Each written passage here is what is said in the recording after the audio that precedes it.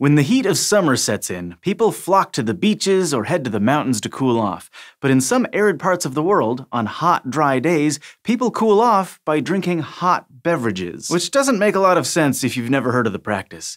If a cup of hot cocoa on a cold, snowy day makes you feel warmer, how could a hot drink also make you feel cooler? But there is evidence to back up this age old tradition, if the conditions are just right. In a study published in 2012, subjects exercised on a stationary bike, and they drank water ranging in temperature from near freezing up to 50 degrees Celsius. After 75 minutes, researchers measured the amount of heat stored in the subjects' bodies. Heat storage was lowest when they drank the warmest water. The key thing to point out here is that the researchers created conditions where sweat could fully evaporate from the subject's skin. The relative humidity was low, a fan was blowing, and the participants wore minimal clothing. In these conditions, the participants lost the largest share of their body heat through evaporative cooling, which is to say, their sweat dissipated heat. When water evaporates, it changes phase from liquid to gas. This phase change requires energy. More precisely, it draws heat energy from the surrounding environment, which in this case includes your skin. Hot beverages stimulate sweating.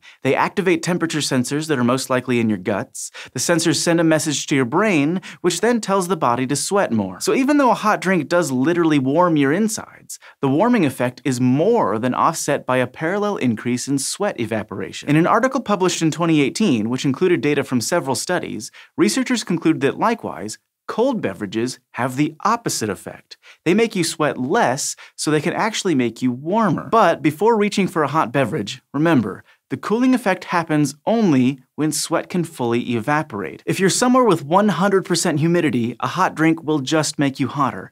There's a reason this isn't a widespread practice in, like, Florida. And even if you are in an evaporation friendly environment, you should approach hot beverages with caution. If you're dehydrated, you can't really spare the water loss from sweating that a hot beverage would cause. Also, sweating can still exceed the rate of evaporation, especially if the air is still.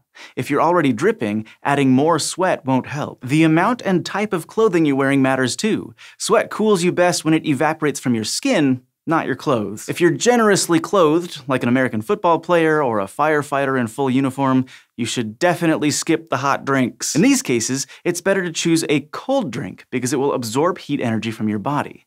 There's also a psychological component. Many of us find cold beverages more refreshing. In the end, experts recommend keeping your beverages at whatever temperature you find most palatable.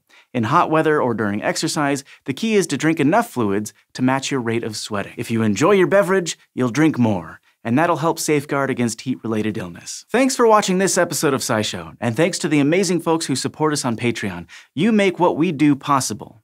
If you're interested in helping us make cool science videos, check out patreon.com slash scishow.